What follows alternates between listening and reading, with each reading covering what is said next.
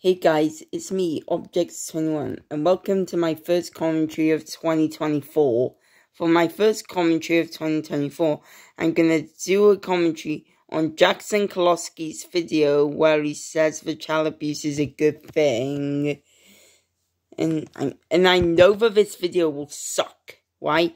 Because this proves he supports child abuse. Anyways, enjoy.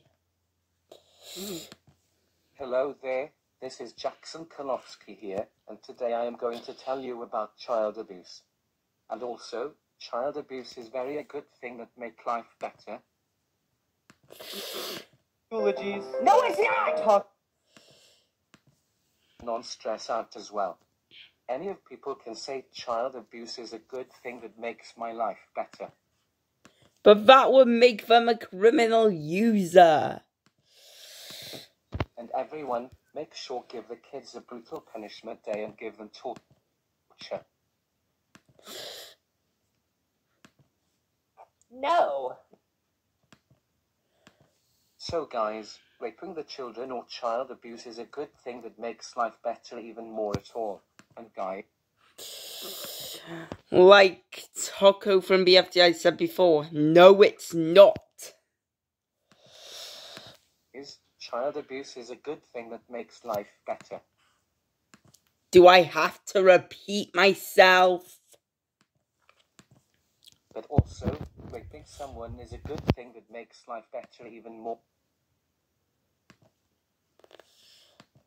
Oh my god, Bro,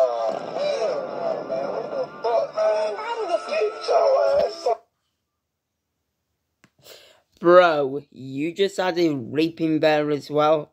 That's nowhere near better than child abuse. more at all. And everyone, you better give a lot of kids a punishment day because child abuse is a good thing that makes life better at all. At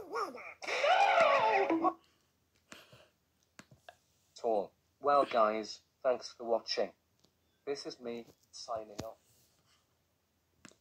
Thank God that that video is over. But damn, I hear that so much, and you can probably tell why. That's because he supports child abuse. And Jackson Koloski, if you're watching this, don't you dare go into the comments and say the child abuse is good. Otherwise, you're going to get way more hate than before.